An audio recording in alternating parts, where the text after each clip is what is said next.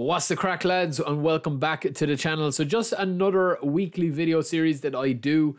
We have a couple of them now, a couple of weekly series, just to get a bit of consistency going. And a lot of people ask me this every week anyway, mostly for newcomers, lads. If you are a newcomer, check out my previous videos where I talk about informed players and what it means to have an informed player and what kind of boosts it gives you in games, statistics wise, um, or attribute wise, and stats for players.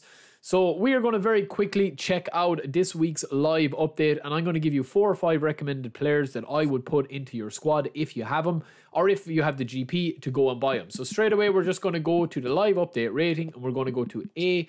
We'll just start with A lads. There is a couple of B players as well there. Messi is probably the pick of them.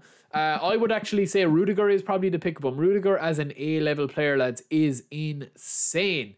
He's going to have so many good stats if he's on a full form arrow. And with the A form and the unwavering form, you're going to have a player that's going to be up more often than not. A beast of a player, a destroyer from the centre back.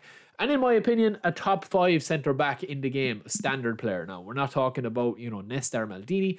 Um, but I do definitely think he's there. So my picks for it this week would be obviously Messi, any version of Messi that you have unwavering form. You've got your A rating there as well. And Messi is going to be obviously locked to a B with the legend card, but any other version of the standard card of Messi is going to be on A. Harry Kane is obviously in the player of the weeks this week as well, so his form carries true to his standard card, and he's not that expensive, lads. 450,000 isn't a lot. Muller, I've seen a lot of people use Muller. For me personally, he's not good enough um, to get in the squad that I currently have, but anytime I come up against him, his positioning seems to be insane because I think when you're training him up, you're going to have offensive awareness awareness that's going to be at least 96. So that's going to be one of the highest uh, offensive awareness stats of any player in the game. Uh, which is really really good. Dybala, I wouldn't, you know, I, I just don't really use him that much. Uh, creative playmaker as an SS, inconsistent form, even on the A.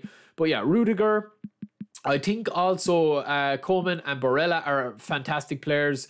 We have Lautaro Martinez. He's been on A or B form for the last couple of weeks. He's been really, really, really consistent this year. Koundé is also there as a centre back. Pedri.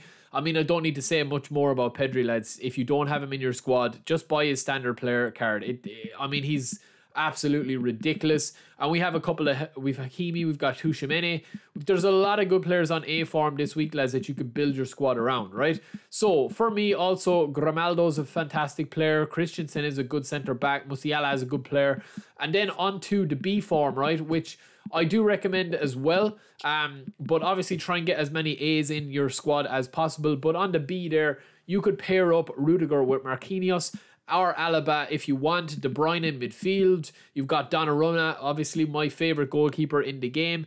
You've got De Jong, you've got Rodri, you've got a lot of centre backs, you've got a lot of wingers and centre mids. And yeah, there's a nice spread there as well around of a couple of young players if you wanted to try out a couple of young players. Reece James is back in form as well. I'm going to be trying him out because he is a monster for me. Wirtz is a fantastic player as well. Muniain obviously is going to get that boost as well.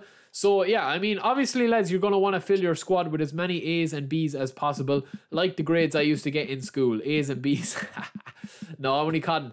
But you are going to want to have a have a look at some of the squads. So, for example, here with me, you will see that from last week's squad, I had Kimmich in, who was on a A, I think, or a B, and we had Neymar in as well, who was on an A. Right, so we're going to have to swap them out and obviously, we can get different players in if we want to, but I'm going to go for players that are going to be in really good form. And if I don't have a player that is in really good form, I can buy somebody. So obviously, I have Pedri there as well. Matoma is going to be on A form. That is huge. We will get him in. We also have Camavinga and Hakimi to come in as well. I've got a lot of good players there that are on A and B. Um, even if we get Hakimi in there, lads, for a right back, we can take out Sane, we can take out DePaul, and we can take out Akuna Matata. There's a lot of players there that are going to be able to do it for you. So obviously we can get Neymar back in there as well. Um, as you know, whoever we're going to get, Messi is there as his as his traditional card, the epic big time. Ansu Fati, Donna can come back in if you want. I have Donna already there. The rest of my squad is looking fairly beastly, lads. I must say it is looking fairly beastly with the A's and the B's. Um, I will also probably put in Camavinga, lads. I haven't really tried him out, but I think this week could be the week to put him in and see. So, as you see there, lads, I'm just filling my squad with players that are going to be on tip top form. And obviously, this means that I'm going to be able to get as many players in form as possible. Um, Paddy V is going to come back in. And then we probably just need one more attacking player.